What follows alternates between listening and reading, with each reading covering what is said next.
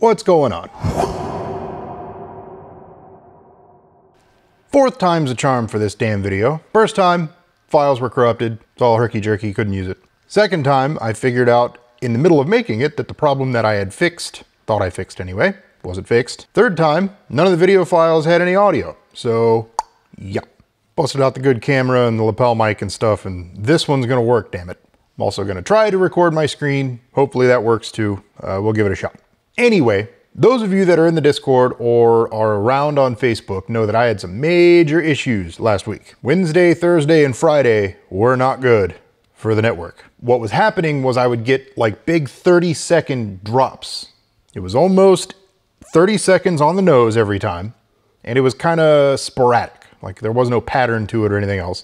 Sometimes it would be up for quite a while, and other times it would be like two of them right back to back, which doesn't do so well for like VPNs and things like that. That's actually what made me notice was my um, work phone app thing. If it loses connection like at all, it freaks out. so every time it happened, it would pop up and like, you know, lose it. And I'm like, the hell's going on? Pulled up the radio and yeah. Signals were good, modulation was good, everything was good connection wise. I could get all the way to the radio on the data center, no problem. But I would notice the throughput, the data is actually going through the radios, which is off a cliff. And then 30 seconds later, whoop, right back up like nothing happened. I started running pings and I would notice like everything would be fine, fine, fine. Big chunk of missing, you know, timeouts. Fine, fine, fine, fine, on and on and on. Then somebody told me about Ping Plotter Pro. Ping Plotter is amazing. I thought I'd had it running this whole time, but it was paused. it does pings and trace routes over time. So you can see when it's dropping, when it's not. You can see latency. You can see everything in a nice little neat graph right along the bottom. It's very, very cool. And it's free too. I'll put a link down in the description. But using this, I could tell that I could ping the radio from this side, no problem. Even when it dropped, no problem. But I couldn't get to the router. I was like, hmm, okay. Something between that radio and the router is freaking out. So I cranked up a VM on the server in the data center and started pinging the radio that way. And again, when it dropped, when it went out, it would drop that side too. Okay, cool. Something definitely between the router and the radio. I thought the only thing between the router and the radio was one switch. We're gonna paint this up because I am an artiste. Hmm. I thought it was like radio, switch. Ooh, that's a good S to the cloud. Oh yeah, that's good. Yeah, so that's the router or a meatball. Turns out though, there was another switch right here. I didn't know about that one. Somebody in Discord asked me, what's powering the, radio? Is it PoE? And I'm like, well, they're all PoE. What he meant was, is it PoE from an injector or PoE from like a switch? And we were using uh, Edge Switch 8 on the roof to power the radio because John had some other radios and whatnot up there that he was powering with it also. Well, I thought he took all that down. Turns out he didn't. He took most of it down. He left a radio up there and that switch. So once I finally realized that, I got in that switch and I noticed that there were errors. Yep. Dropped one error. Still errors. Um, I haven't noticed it doing anything strange yet today. It seems to be working okay for now, but yeah, it, it freaks out. I don't know exactly why. Um, there's really no way to tell as far as I know. If you mouse over this, nothing happens. It just says error. I sure would like to know what the error is. That would be nice. If you go over here, Nothing. it's just, hey, you have an error. That's it. Cool. Thanks, Switch. That's good. No logs, no nothing. It's just, yep. So I don't know what the error is, but something is happening in this switch. Um, I turned off STP because I've actually had spanning tree protocol is what STP is. It, it prevents network loops and broadcast storms and things like that. I've had that cause issues like this in the past, like when I was running a little eight port Ubiquiti switch at the relay house, I had that happen there. It kept killing the, uh, the backbone port. of course, that took down the whole network and I'm like, what is going on? So I ended up just turning spanning tree off completely. Uh, I did the same thing on this and it seemed to work okay until the other day when I went to make this video and everything was still broken. So yeah, the correct way to fix spanning tree issues is to find where the loop is coming from. Don't just turn off spanning tree. It's kind of a band-aid fix. You know, desperate times call for desperate measures, but fix it the right way. I don't know exactly how I would do that on my network. Everything's so spread out. I'm not... Usually what you would do is you would go through and you would unplug everything and then plug one thing in at a time and wait for the problem to come back up until you plug it in and you go, oh, okay, that's the issue. Then you know where your culprit is. With my network, uh, I'm not real sure. I don't know how I'd fix that. That'd be tricky. Man, utilization is cranking on this thing right now.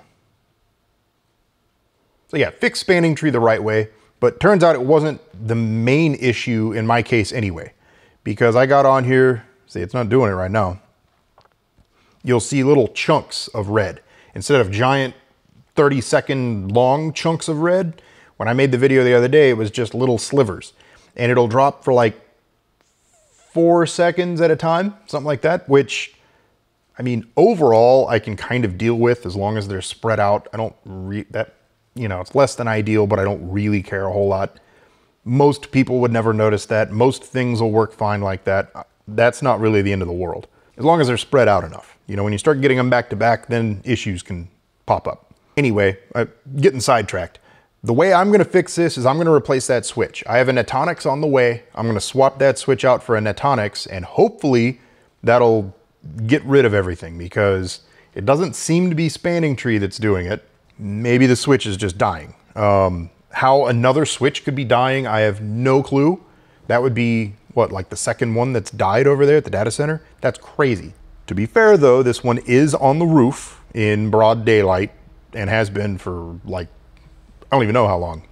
So if that one died, at least it would make a little bit more sense. But still, it's like, damn, another dead switch? Jeez, really? Either way, I'm gonna swap it out for a Netonix and hopefully that will get rid of this issue because yeah, this is not good. Working pretty well right now. Knock on wood, knock on all the wood.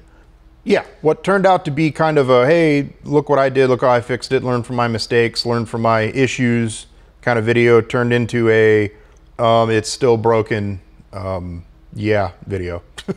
so that's fun.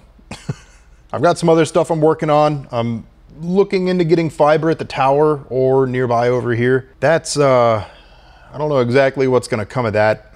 We'll see, but I don't know. It would be really, really nice to have tower at the tower at the fiber.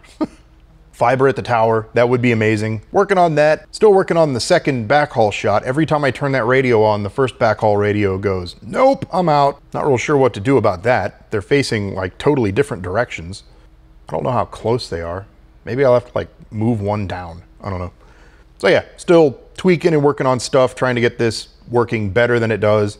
Uh, the backbone shot, while the capacity still sucks, is uh, stable. Works great. Hasn't gone down, hasn't given me any issues. Again, knock on all the wood. I did one more install uh, a couple days ago, or had one more install done, I should say. And uh, did that because the connection itself is at least stable enough. And I had a little bit of room to work with after a little bit of tweaking that I did. And they kept emailing me and bugging me like, hey, can I get hooked up? Hey, can I get hooked up? I was like, okay, all right, fine. I'll hook you up. No problem.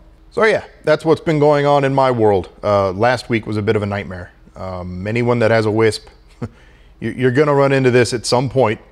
Uh, I think the correct way to fix this overall, like once and for all, like for good, is to divide the network up. Right now, I, I have like one router, and then all the CPEs are behind their own router. The big network in the middle is all just one big network, and that's how you get storms and broadcast issues and loops and weird stuff going on. So I think the, the real correct way to fix it, and it's gonna take some time, kind of put a, a router at each hop.